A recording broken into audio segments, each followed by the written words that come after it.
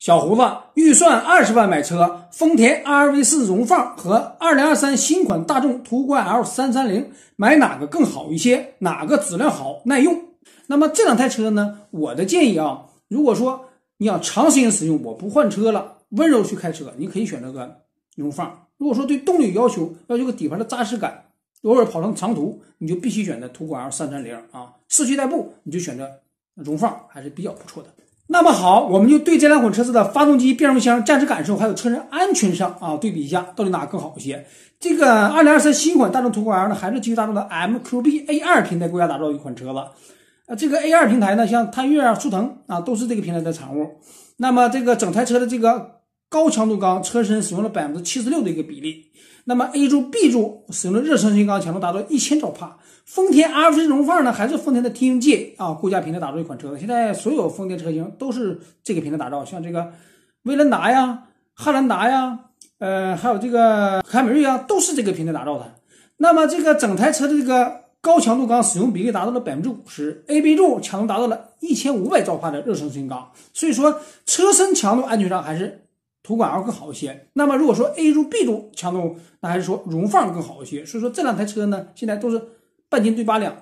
日系车呢，车身安全呢略有起色。这个德系车呢，现在出现偷工减料的厉害。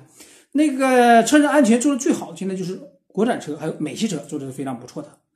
那么这两款车子二十万买这两款车吧，这个荣放呢，如果你加点钱还能买到这个双擎混动。如果不添俩钱呢，能买到这个二点零升的自然吸气，匹配这个 CVT 变速箱。动力弱啊，而且这个 CVT 变速箱呢开起来很佛气，不可以暴力驾驶。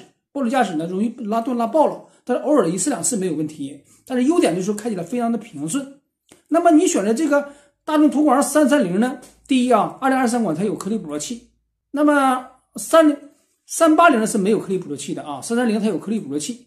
但是厂家说对这个颗粒捕捉器已经进行了这个修改，据说是不堵塞了。但是堵不堵塞还得去靠市场的验证。啊，和口碑，所以说呢，这个有这个顾虑。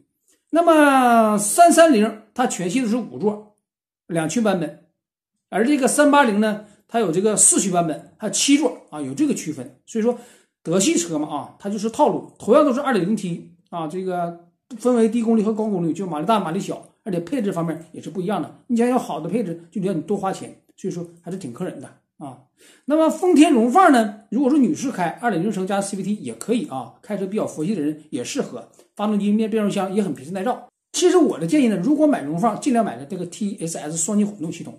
那么早在丰田第一代丰田普锐斯身上就用上了这个三电系统，但是一九九七年。相对仪表呢很成熟、很稳定，到现在发展到第四代了。它有个核心技术叫动力分配器。我什么时候用油，什么时候用电，什么时候双擎混动，还得达到一个节油的目的，还动力强的目的，还得达到一个不顿挫的目的，所以说非常好，非常不错。那么两台车的悬挂呢，都是前麦弗逊，后面是多连杆的悬挂，但是说扎实感、支撑性呢，绝对是途观 L 要好于这个呃荣放的。跑起来说，拐弯的时候支撑性啊，那种扎实感呢，绝对是大众的德系车要绝对好于碾压你这个日系车的。所以说这两台车子啊，动力上绝对是这个三三零途观 L 更好一些。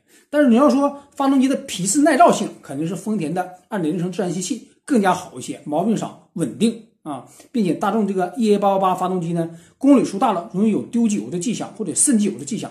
它这个七档四驱双离合呢，虽然是传动效率很高啊，开起来很爽很跟脚。那么 CVT 变速箱呢，虽然也不咋地，但是温柔去驾驶呢。女士开也是还是可是可以的，还是绝对没有问题的啊。那没有开过或者买过这两款车子的小伙伴，对我说的没有不同意见和想法，可以在评论区留言。欢迎大家转发、评论、点赞，拜拜。